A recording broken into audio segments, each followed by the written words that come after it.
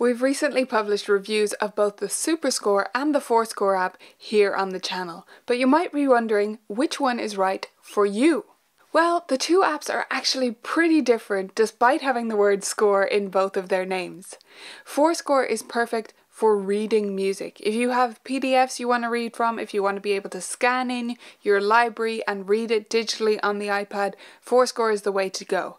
It also has the more powerful annotation features and the music is a little bit more of a comfortable size to read in general, and you can kind of move it around a little bit more and explore the two page views if you want to get small and condensed and read without turning the pages too often.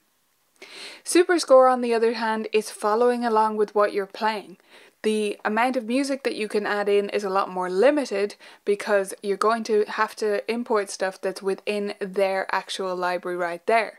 The reason it does that though is so that you can follow along on the keyboard, play through MIDI input and have it check what you're playing. So Superscore is really more of a practice tool and ForScore is more of a playing tool if we want to break it down and keep it simple to understand.